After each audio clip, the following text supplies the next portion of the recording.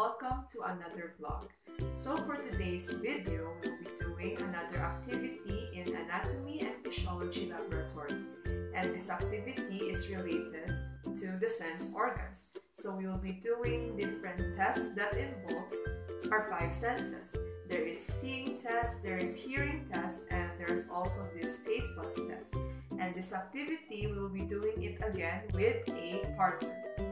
So without further ado, let's go on to the video. For this experiment, the monitor should reach its full brightness. A Snellen chart will be used, reading each letters from the top to the bottom, ranging until line 11.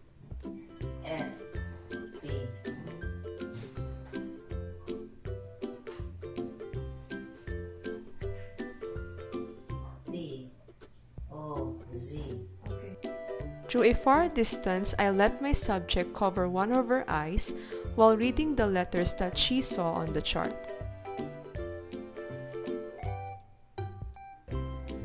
And this is her results, which indicates that she have normal visual acuity. Next, I let her repeat the reading, but this time covering the other eye.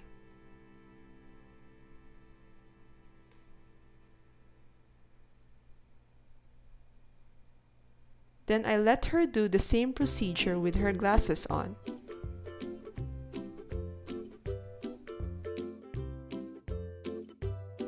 This is her results.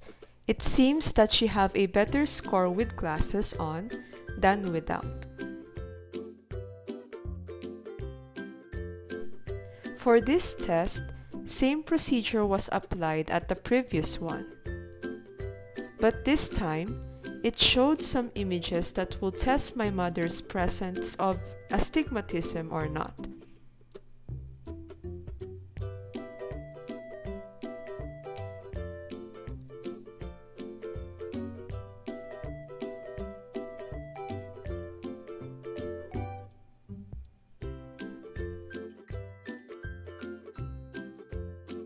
And here is the results. It seemed that my mother have no astigmatism present. For this test, I let her cover one of her eyes once again. But now, I'm letting her make a closer distance by moving towards the screen closer to test for her presence of blind spot if there is any. Same procedure applied, this test require through correction of glasses compared to without glasses.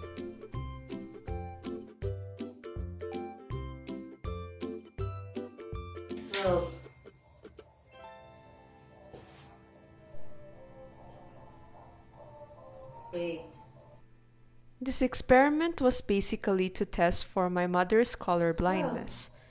Pictures were shown on the screen while my mother is in a farther distance reading the numbers of every image.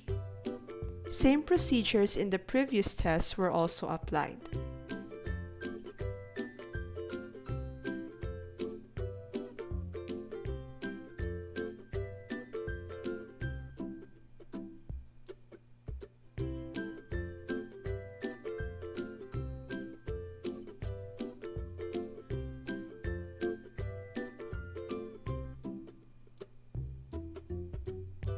Here are some images that I've mentioned.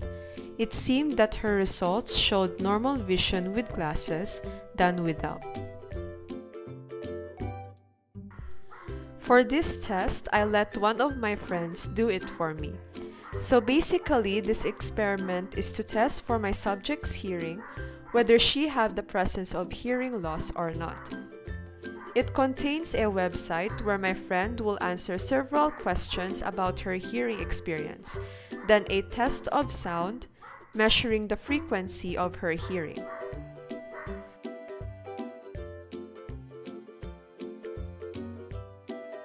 And here are her results. It seems that she had the presence of slight hearing loss at both of her ears.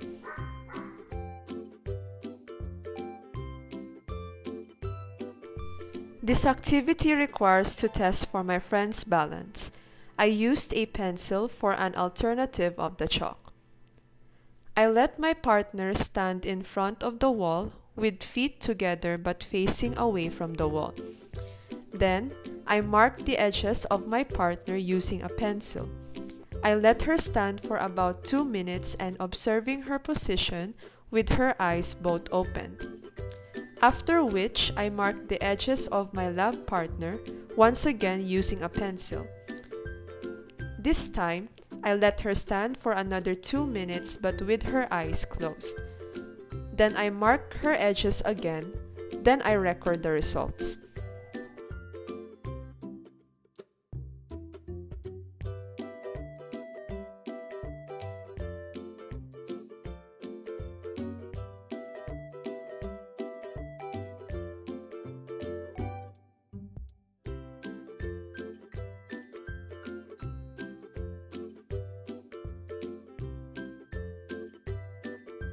For this taste buds test, all we need is some paper towels and a few amount of sugar. By folding some paper towels, I used to dry the surface of my tongue like without the presence of saliva in.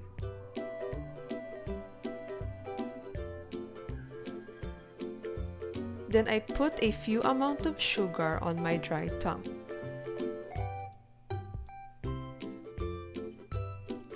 It took me a long time until I finally tasted the sugar on my tongue. Duration was exactly 40 seconds.